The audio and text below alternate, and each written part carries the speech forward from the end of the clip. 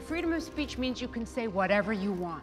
What you can't do is lie and then expect not to be accountable for it. Not all opinions are equal.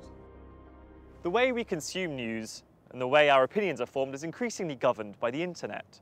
My name is Alex Krasodomski Jones. I'm a digital researcher at the think tank Demos. And for the last five years, we've looked at the way our lives have increasingly moved online. And it hasn't always been a smooth transition.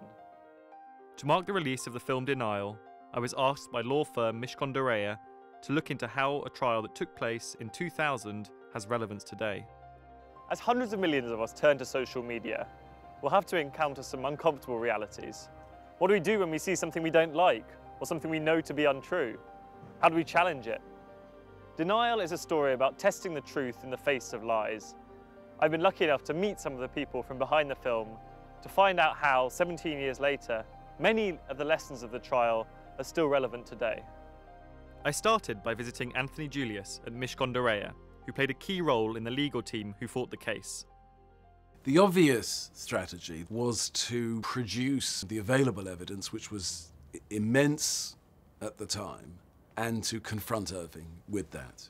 So we would um, deploy not just witness evidence from survivors, but documentary evidence, photographs, and all the rest of it. But there were two objections to that. The first objection was it felt to me in, inherently uh, uh, offensive to uh, put survivors in a position where they would be exposed to cross examination by uh, a parade ground barking, hectoring, anti Semitic bully. The second objection why would we want to put Irving in the position where he was uh, uh, given the opportunity to consider and respond to the evidence that we were offering him, and then engage with us as if he was one expert in controversy with another group of experts. Why pay him the respect of that equality of approach? So we looked at the documents that he himself relied on, and we found that he utterly systematically misrepresented those documents in order to produce his bogus history. We didn't need to go outside of his work. We didn't need to stand survivors in front of him. Instead, we stayed inside his castle, so to speak, and demonstrated what faulty foundations it was built on. And it finished him. But how do you capture that story and bring it to the screen? To answer that, I visited the studio of the man responsible for turning the events of the trial into a film script, Sir David Hare. What was it about the Irving Lipstadt libel case that really caught your imagination? I think I was interested in this idea that um, the two opinions would not be equal. What the 40 days of the trial proved by putting the evidence under scrutiny was that actually not all points of view are equal. Mm. That a point of view that is substantiated by fact is rather more valuable than a point of view that is not substantiated by fact. How much artistic license did that give you when you were writing the film? Well, none whatsoever. In other words, um, it seemed to me, you know, the minute I was asked to write this film, it presented particular problems. The subject of the film is verifiable truth and how truth defends itself against unsubstantiated opinion. Deborah Lipstadt had a policy of non engagement with Holocaust deniers. So that meant that I, in representing her life, felt the same thing. I cannot go and meet David Irving. But more than that, I refuse to speculate psychologically about him. You can have opinions about the Holocaust, but I won't meet with anyone who says the Holocaust didn't happen. Professor Lipstadt, I am that David Irving. And I've got a thousand dollars to give anyone who can show me a document that proves the Holocaust. I will not debate you, not here, not now, not because ever. you can't. James Libson is a partner at Mishcon de Reya, who was also involved in the case. He told us why this story is still relevant today. When you heard that a Hollywood film was potentially being made, what was your first reaction? I didn't take it all that seriously. I didn't think it would happen. Only when we uh, started sitting down with David Hare and someone of uh, his stature had been commissioned to actually write a script did it feel uh, realistic. I read an article one of your initial reactions when you heard that the film was potentially being commissioned was, "What's the point?" At the time, uh, and until recently, I thought it was done and dusted, and I didn't think the story needed to be told uh, in 2016 17. Has your opinion changed? My opinion has changed actually. The first reasons it's changed is when uh, I first saw the online reaction to the trailer was almost universally and exclusively virulently anti-Semitic, very hateful, very supportive of uh, denial and uh, Irving and the line that he had taken. And it felt as if that, that lurking under the surface uh, is a sentiment uh, that I had thought maybe we had dealt with, but we clearly haven't dealt with. And the second reason is that the film is a passionate plea for truth and the importance of truth. And what we've seen recently in the post truth society, in this vile phrase of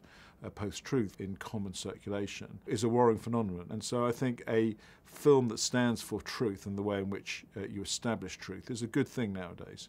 You don't need to protect me. No, we're not, we're not protecting you, we're protecting our case. Our strategy is to keep the focus on Irving and Irving alone. It's not a test of your credibility, it's a test of his. Deborah Lipstadt, the historian at the centre of the libel case in 2000, shared how the issues in the case impact upon us in 2017.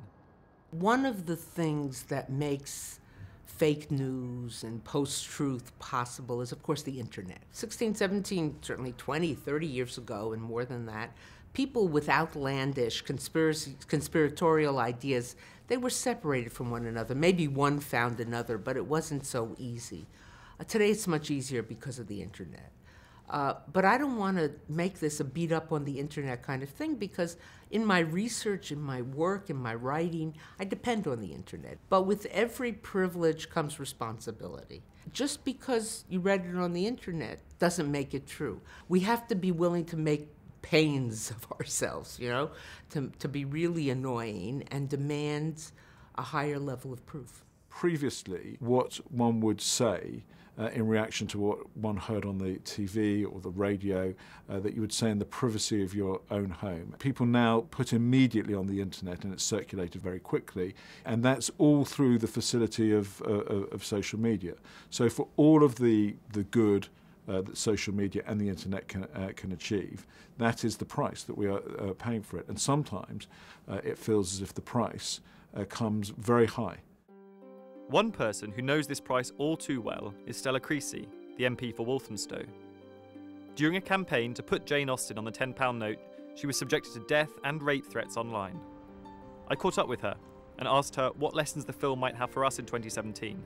What I think is interesting now and where I think denial particularly fits into these kind of discussions is about this concept of what is a fact and people's ability to find facts and to find in the bigger echo chambers that they're living in now counterfact to prove that they were right all along. So we have a society where people are ever more engaged in debate and discussion but actually perhaps ever less critical of where information is coming from because there's so much of it about.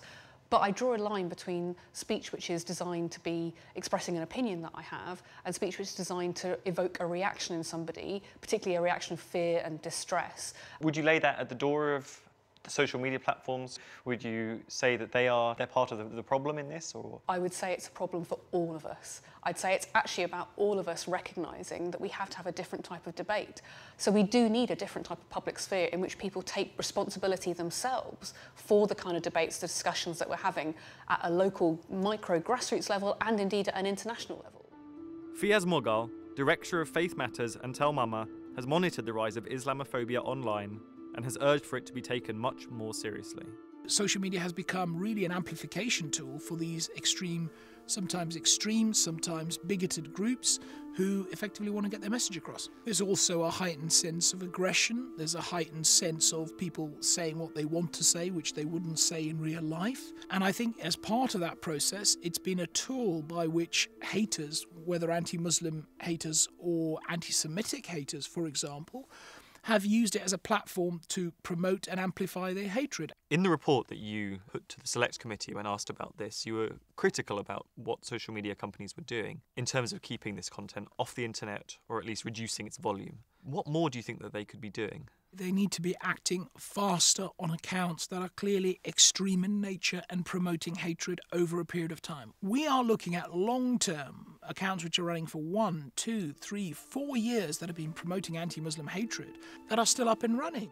With billions of messages being sent by hundreds of millions of users every day, the big social media companies are facing an unprecedented challenge. Richard Taylor is a technology correspondent based in Silicon Valley. Thankfully, the major tech firms are beginning to show signs of dealing with it very decisively. Twitter is taking it seriously. I think they've realized that it is something that affects not just individual users, but of course it has enormous reputational implications as well. And we are seeing now finally a new policy rolling out which makes it much easier for users to flag abusive content, to block users, uh, to report offensive tweets. They recognize it's a problem. They recognize they can't simply sit back and, and say that they're a dumb vehicle or a dumb platform where content can simply uh, roam free, that they actually have to take concrete measures to make sure that this doesn't happen in future. It seems as if the social media companies are catching up, but what about the justice system? Are we doing enough to provide the same protection online as we'd expect offline? To find out, I spoke to Nazir Afzal, Chief Executive of the Association of Police and Crime Commissioners. Facebook and Twitter, as I understand it, signed up to a code of conduct last year, uh, which was aimed at sharing more information with each other and with the police to be able to, be able to identify people who are constantly abusing and, and threatening and, and committing crimes online. Policing the internet is the same as policing the street, it's just a different environment and there needs to be greater training, there needs to be greater understanding of what people can do and what they can't do, and more cooperation and communication, and ultimately it can be policed in the same way that you can police the street. In 2017, post-Trump, uh, post-Brexit, um, conspiracy theories uh, everywhere all the time, uh, it's absolutely essential that we hold dearest to our hearts the truth uh, and that we ensure that the truth wins out. And uh, the legal system is here to try and ensure that. Uh, and if, you know, I absolutely pay tribute to everybody that was involved in the Irving trial because it set out a benchmark really uh, for how it is that we should be dealing with those who would try and deny the truth. It's often said that we live in an information age, though that may now be an understatement. We are under a barrage of news, articles, think pieces, memes, infographics, arguments and counterarguments, facts and counterfacts, out of which we must try to pull together some sense of the world. But within this, it's vital that people are able to identify truth from lies, signal from noise, fact from fiction, and perhaps most importantly, to care about the difference. We've always been entitled to our opinion, but now we all have the capability to share it.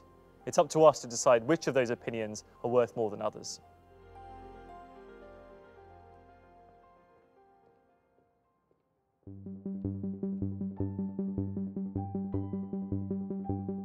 What was the experience of seeing somebody else play you on the big screen? Well, it was really quite demoralizing because I, I, I appreciated within minutes that, that Andrew Scott is, is, is a better Anthony Julius than I am. What did you make of Jack Lowden? Happy? I'm very happy with Good. Jack Lowden. Handsome, thin. That's all I wanted.